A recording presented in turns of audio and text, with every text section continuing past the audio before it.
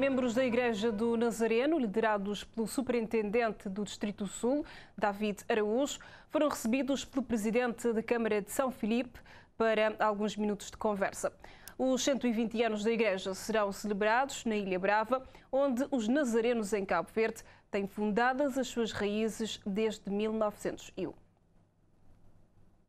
Estão na região Fogo e Brava para confraternizar e celebrar os 120 anos e aproveitaram a oportunidade para visitar o presidente da Câmara Municipal de São Felipe. Foi um momento de partilha de, de informações, de, da possibilidade desses líderes uh, poderem uh, interar melhor daquilo que é o trabalho que a Câmara Municipal uh, vem fazendo, mas também de, podemos falar de parcerias em várias áreas, sobretudo nas áreas sociais, que podemos desenvolver conjuntamente e uh, o momento também de podermos uh, saber uh, tudo aquilo que a Igreja tem feito pelos líderes políticos, nomeadamente através do poder da oração.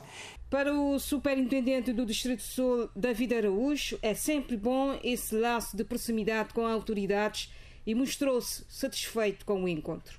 São sempre encontros importantes quando a liderança da Igreja se encontra com a liderança municipal ou nacional eh, para a troca de impressões e também para a reafirmação eh, do compromisso que a Igreja tem eh, com a oração a favor daqueles que estão em posição de autoridade e trocar impressões também sobre o desenvolvimento das localidades, das ilhas e também da nossa nação.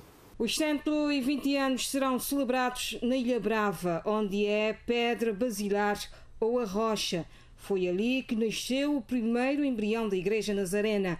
A Igreja tem uma história importante na Ilha das Flores, sublinha David Araújo. A história é uma história muito interessante.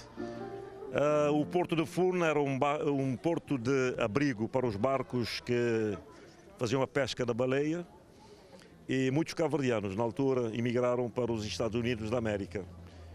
Entre eles João José Dias, e ele se converteu na América e, chamado por Deus, ele voltou para a Ilha Brava, sua ilha natal, para compartilhar com o seu povo o que ele considerou o maior dos achados, a maior riqueza, Cristo e o Evangelho.